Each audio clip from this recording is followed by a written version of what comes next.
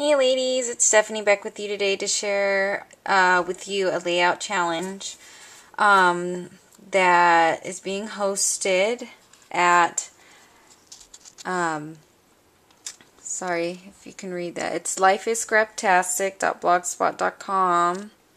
Um, I will put her information up on the screen and below in the description box. Um, definitely in the description box box below if you don't see it right away.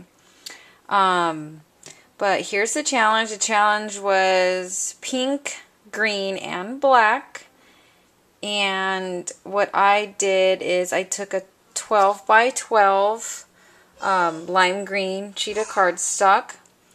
And then I took a 8.5 by 11 pink and also a 8.5 by 11 black, but I trimmed down the black to about three and a half inches. Um, and just put it right behind the pink cardstock.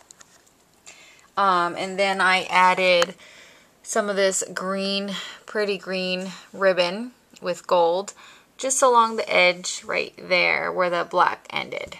Um, or the pink ended.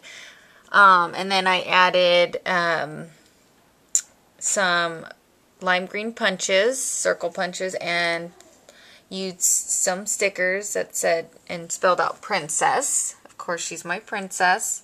And then I added some polka dots all around it, some light pink, some lime green, some black, just a couple of black here, just four black, um, mostly lime green, and then I added a little bit of the light pink here and there.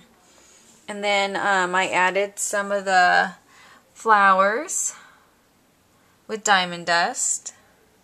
After, of course, I um, did my daughter's picture. She's got this little cute sailor outfit and these little girly high heel shoes.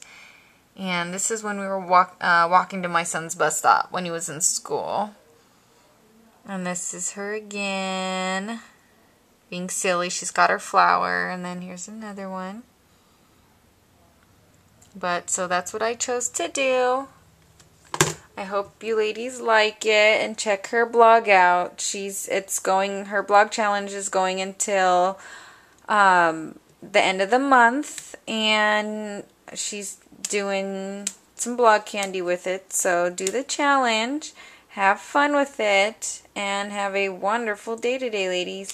Thanks for watching. Bye.